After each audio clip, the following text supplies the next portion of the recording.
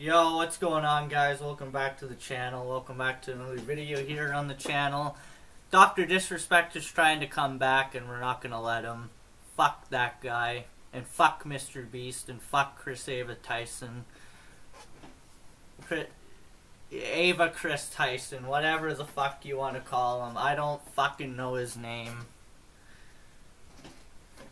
Let's all condemn these pedophiles in the YouTube community. Who's gonna play with Doctor Disrespect when he comes back?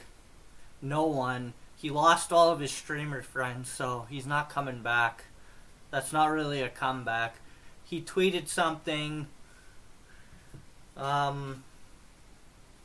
Yes, a couple months ago, a couple weeks ago, or a day ago, or whatever, about him playing chess and we're playing checkers yeah, that's not really slick of Dr. Disrespect to do.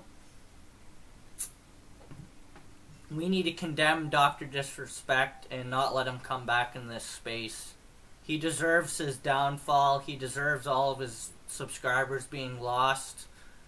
Or people unsubscribing from him should unsubscribe from him, which is a good reason to unsubscribe from Dr. Disrespect for what he did. He messaged a minor inappropriately. That's something you don't do. And he cheated on his wife. Dr. Disrespect cheated on his wife. Yeah, we got that now, eh? Um, the whole Chris Ava Tyson drama is a big situation for Mr. Beast, and it does, doesn't look good. Mr. Beast uploaded a video on Saturday, and it got like a million dislikes and 2 million likes. 2 million likes and 2 million dislikes. Man, I wish we had the public dislike counter back. That would be awesome. But we're never going to get it back.